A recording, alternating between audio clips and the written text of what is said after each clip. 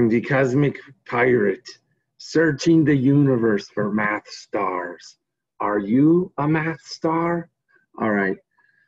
Okay, fun with filters, haha. All right, all right. So let's see here. I could talk pirates all day, but um, I just got to get a quick, shorter video. The last video I already did um, notes to talk about same sign rule, different sign rule. And I just want to reinforce it and have it at the beginning of each sample problem video um, to help remind you. So you just, the more you hear it, and, and we basically just started working on it for like three teach days. Um, if you did invest some time in it on past Thursday, when I gave you an assignment to go do positive and negative stuff, then you might have a head start.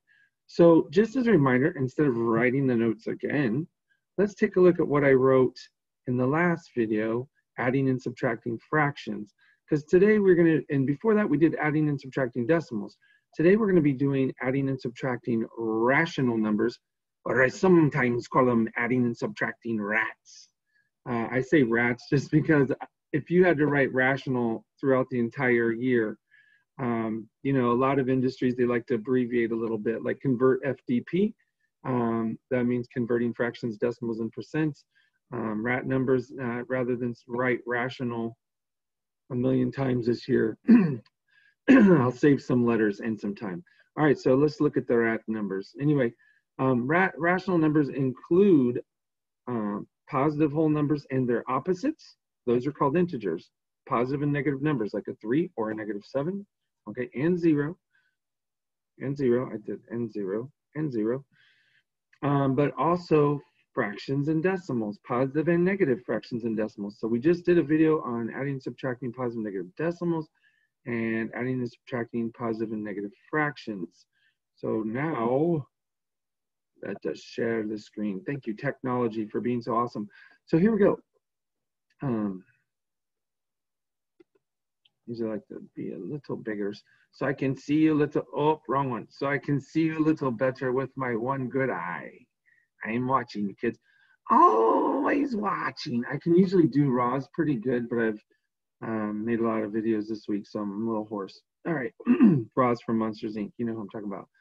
Watching, always watching. All right, you know the nice thing about this get up too is uh, covers the shiny top of my head.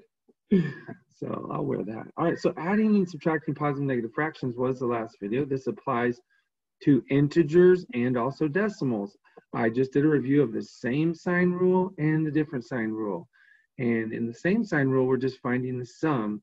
You, you have the same sign, so you just add them, and that's your total, okay? But you keep the same symbol. So if you have some positives and you add some more positives, you have more positives. If you have some negatives and you add some more negatives, you have more negatives. And I try to talk about the word situation, okay? Because uh, a number of people would say, well, sir, that's not a negative three, that's minus a positive three. So you could physically type it like this. We would never normally say it or see it that way, but that's the way some people see it in their mind. That's not a negative three, that's a minus three.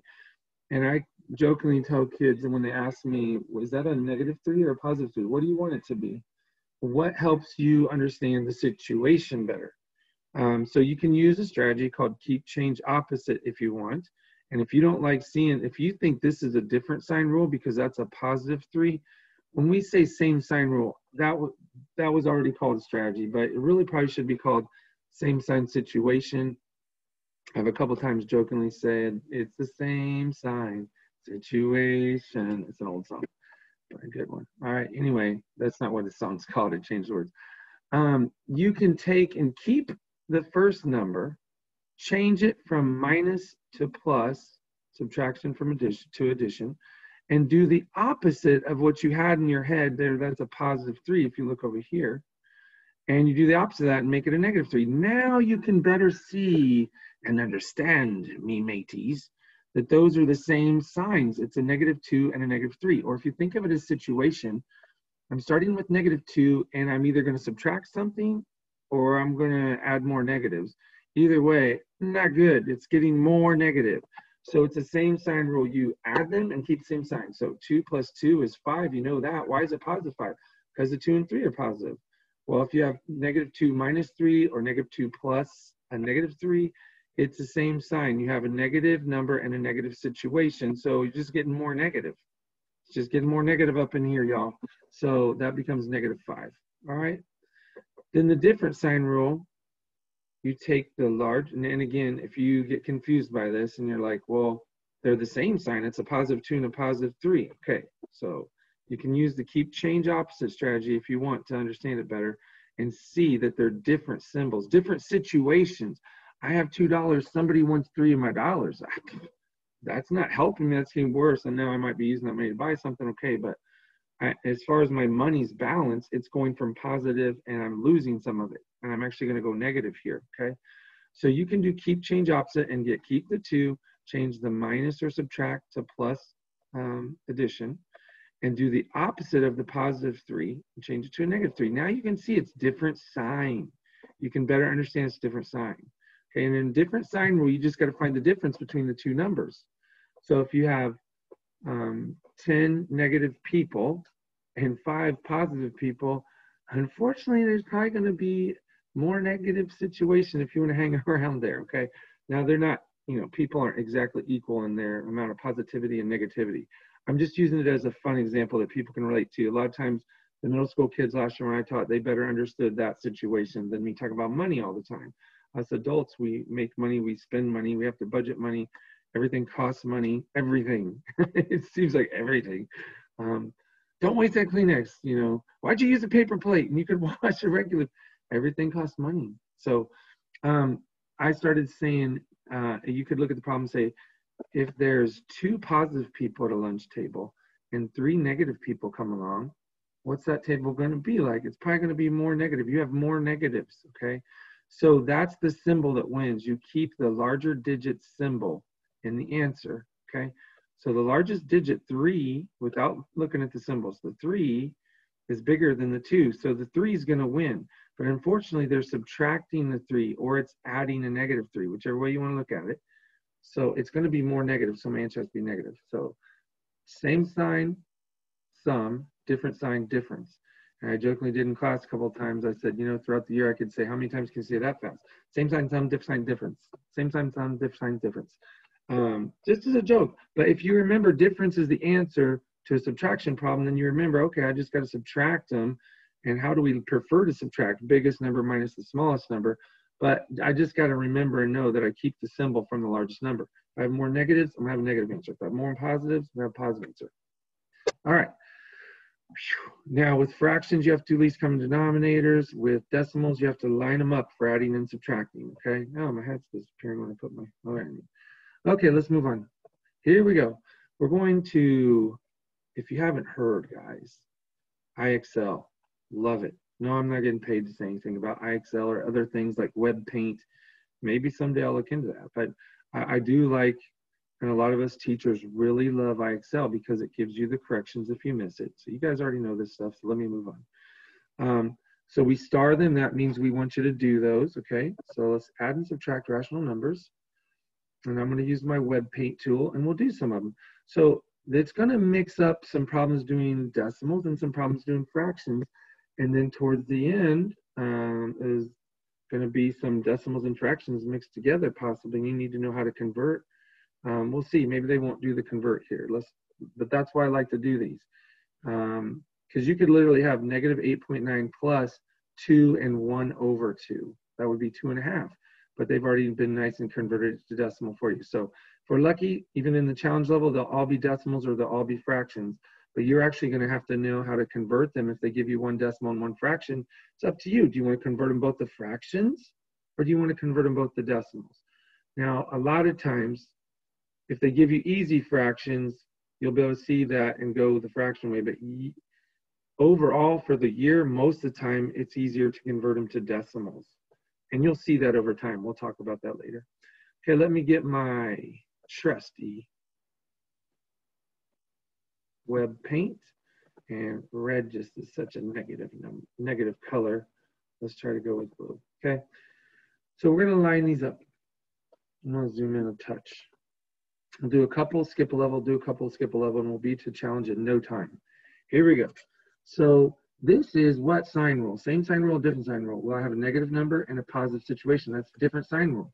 So you take the biggest digit, subtract the smaller digit, okay? Because we want to find different sign difference. We want to find the difference. 9 minus 5 is 4. Drop the decimal down. 8 minus 2 is 6. That's my difference. Now, which one wins? 8's bigger, so its symbol wins. So I'm going to make it negative, okay? Negative 6.4. 6.4. All right, you've got it. Way to go. Good job. All right. So now we're doing fractions, and they're nice. This is introductory problem. They're giving us the same denominator, okay?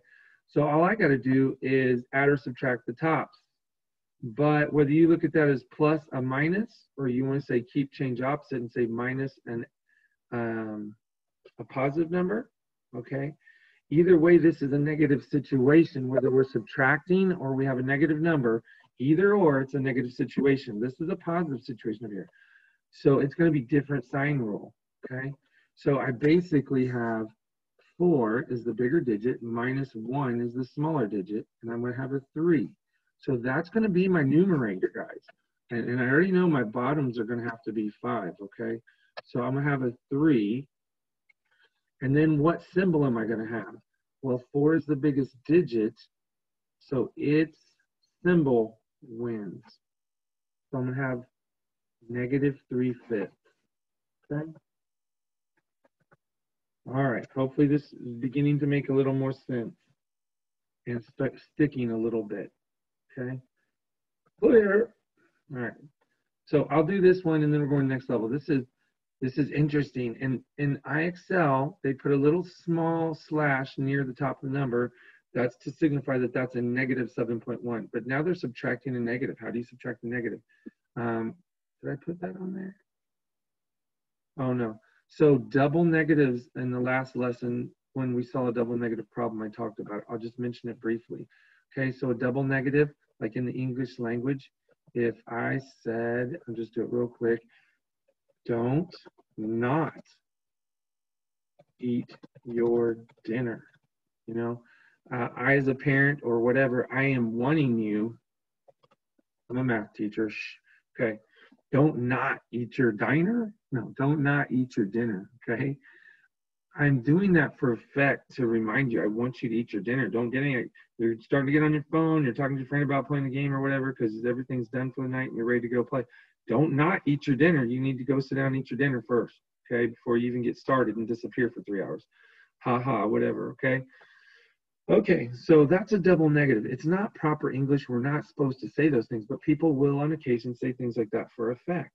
It, it, don't not do it means they really want you to do it. So it's really positive. They want you to do it, okay? Really it's positive act I think I said actually also actually opposite of what said. I wanted to include the word opposite, okay? So in that situation, if you say minus minus 7.1, okay, let me type a couple over here.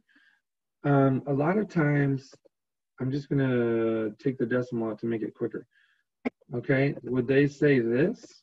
No, we would usually say 8 minus in parentheses negative 7, okay?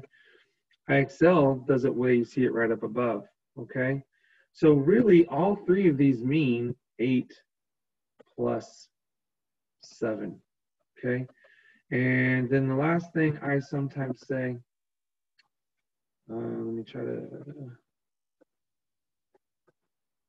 oh well, I don't know, I was trying to get it to be on the same line a lot of times um, you might hear this. I like to repeat this. Uh, a teacher taught me this when I was a little kid long ago. Okay, I'm going to change colors so you can see one thing and we're done and we're moving on. Draw. The other thing they say instead of don't subtract, do the opposite of minus 7, is they say, well, look, with that parentheses there, it kind of looks like a giant plus sign. Okay? To remind you that you're doing the opposite, you're adding. Okay, so you if you see that, great. It's a tip you, to help you catch it. Okay, so all we're doing is adding. Okay, so I'm going to do 8.9 plus 7.1. I get 10. Oh, and then it's going to be 7 plus 8 plus 1. It's going to be 16.0. Now you can put 16.0. You should not be in the habit of it. I will do it once just to see if they count it.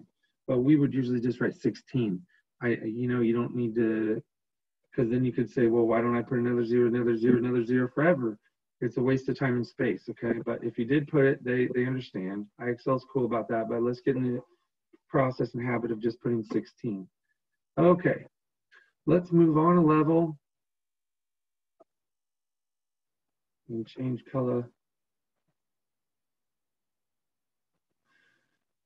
Oh my gosh, really? So we're not quite halfway, but here they're wanting you to add decimals. They don't have a negative symbol in there. It's same sign rule. They're both positive, so you're just gonna have a bigger positive number. The only trick is if you add them, there is nothing after the five, so you just put a dot, and it doesn't really matter if you have the five on the top or the bottom. A lot of people just always put the first number on top. Some people always put the biggest number on top. It's up to you. You're still adding them. If I say add Tom to Jerry or Jerry to Tom, it's the same thing. I just changed the order, okay? We'll get into that later. That's a whole nother lesson. There's words for all that. Okay, so two plus five is seven. So you didn't even need to write that, sir. Oh, I've already fast forwarded on you. Okay, I understand. That one was an easy one. So I'm surprised. That's the way some of these are. They're still pretty easy because they're randomly generating numbers. So here's another one. I don't need, I don't have any negative symbol or anything. Um, so I, you know, you might be able to do some of those in the head. 8 plus 6 is 14, so 14.9. Okay, here we go. This is more what I want to see. Now we're talking, whoa, how do you, how do you deal with a whole number and a fraction? Okay, well, let me just say if it was 9 and 1 tenth, you would just put them together, 9 and 1 tenth. But now this is a negative 1 tenth, and this is minus a negative 9. What happens when you have two negatives right next to each other like that? Don't subtract the 9, do the opposite of negative 9, okay? So it's really wanting you to add. It's negative 1 tenth plus 9, okay? Now I don't have any tenths, Okay. So how do you subtract one tenth from nine holes?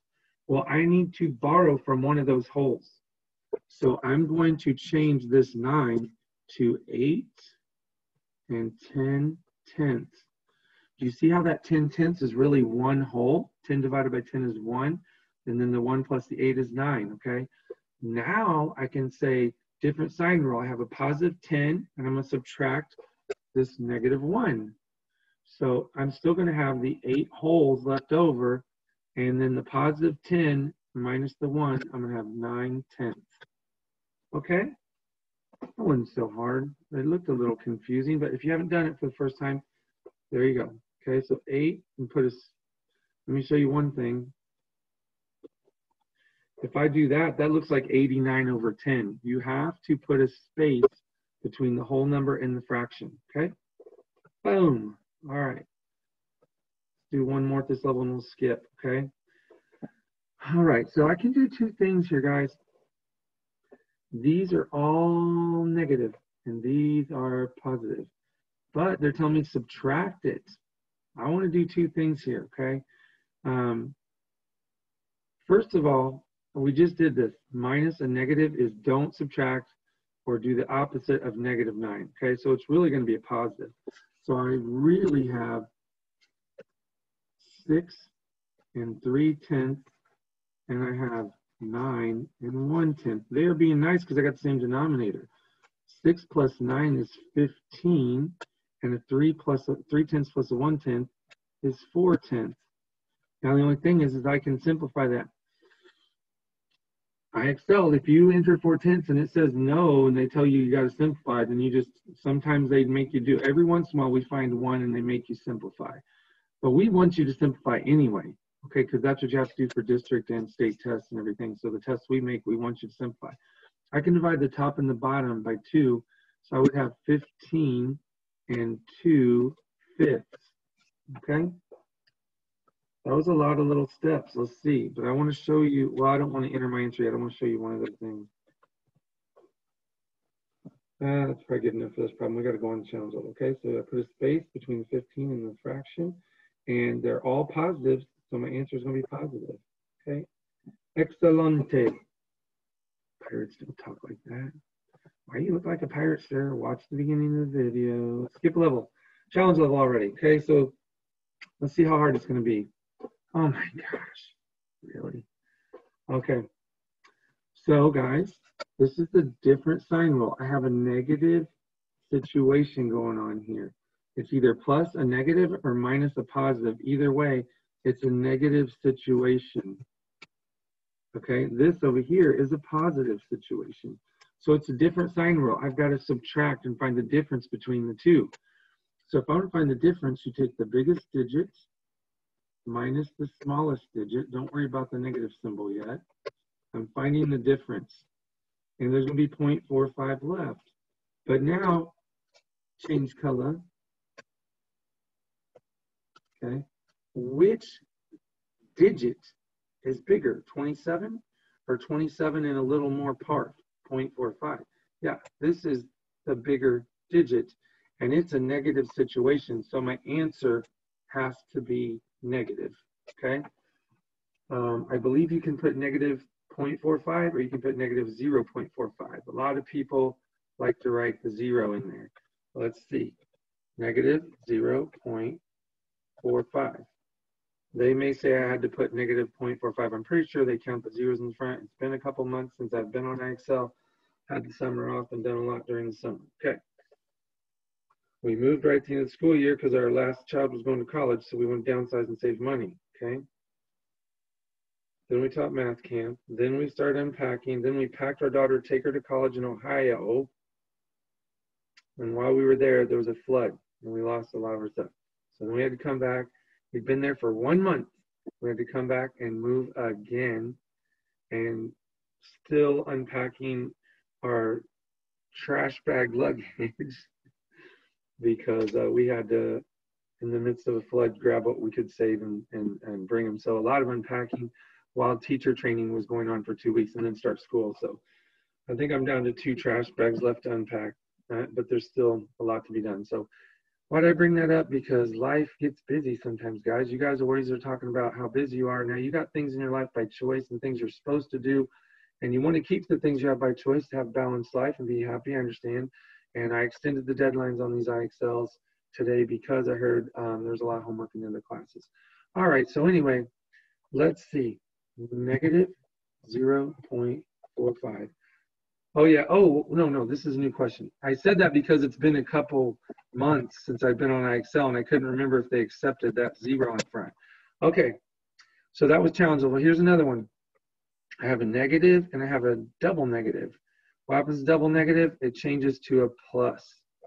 Okay, it looks like a giant plus sign if they had the parentheses there. Okay, or you just need to remember do the opposite of negative or don't subtract you know however you want to say it a double negative becomes a positive. So it's going to be different sign rule. We have a negative situation and this is not going to be a positive situation. It's different sign rule so we want to find the difference. Take the biggest digit and we want to subtract the smaller digit okay? Oh well i don't have any fraction up above to subtract from.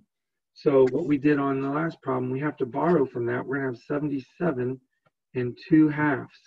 Now you can see that 2 halves really equals 1. And if I add that 1 to the 77, I get 78. So all I did was move that there so I could subtract the 1 half, okay? So now um, 2 halves minus 1 half equals 1 half. And then 7 minus 2 is 5, 7 minus 2 is 5.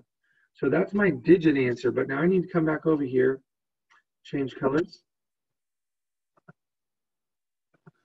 Which digit is greater? 78 is greater than 22. So because it's greater, its symbol wins. I have more negatives than positives, guys. The 22 is really a positive because negative and a minus together, minus the negative, it double negative means plus, okay? Addition. So it's going to be negative 55 and a half. Okay. Now, one thing I did notice last year on IXL, if they give you fractions, don't answer in decimal. They want me to answer in fractions. Okay, I did notice that. Unless they changed it this year and they went in and reprogrammed. If they give you fractions, they want you to answer in fractions. If they give you decimals, they want you to answer in decimals.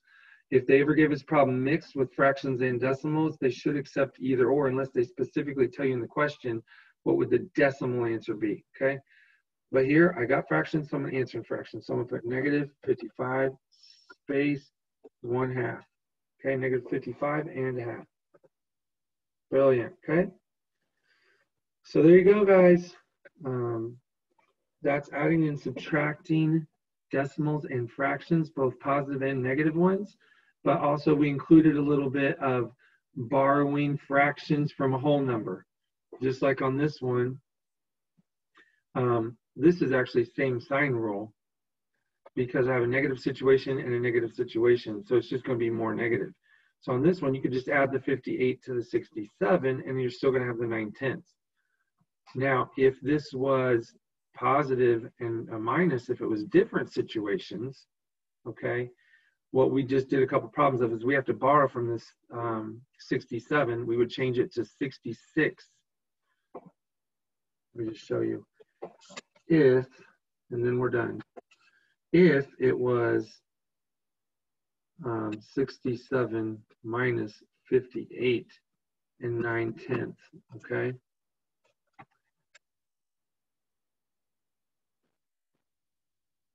Uh, hold on, this guy's in the way.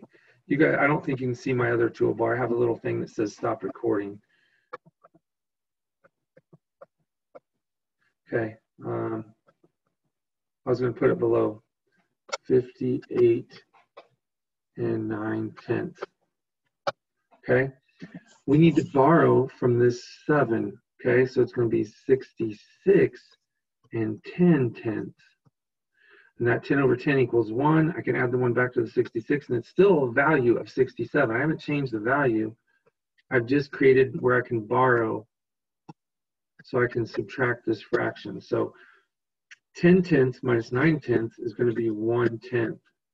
And then 6 minus 8 I can't do. I got to borrow. So that 6 becomes a 5. 16 minus 8 is 8. And then 5 minus 5 is 0. Okay. So if, if this were the problem, you would borrow from it and you would get 8 tenths. That's not what the problem is. It's the same sign rule, so you're just going to add. So since I've done that, I'll already um, do it. So they're both negative situations. So you add them and keep the same sign. 8 plus 7 is 15. 6 plus 6 is 12. So I get 125 and 9 tenths. And they're both negative. Negative situation, negative situation. So therefore, I have to have a negative answer. Negative 1, 2, 5 space 9 slash 10. Okay. All right, guys. Good to see you. Stop sharing. Have a wonderful day. Good luck with your math. Um, pirate joke, maybe next time. Um, I'll add little dad jokes and silliness a little more in the future, like tell a couple of jokes or something to go along with whatever theme. But um, math fatigue, even for math teachers, it's been a lot of technology and a lot of videos and a lot of math guys, just persevere, okay? Just like us teachers, persevere. There'll be less homework per day as we're showing that you're doing what you're supposed to do and you perform well on tests and assessments. Then we'll be like, okay, now we can do two or three nights a week homework instead of four or five nights a week homework, okay? Right now, we're continually trying to reinforce what we just learned. Uh, uh, so hang in there. Hang in there. You got this.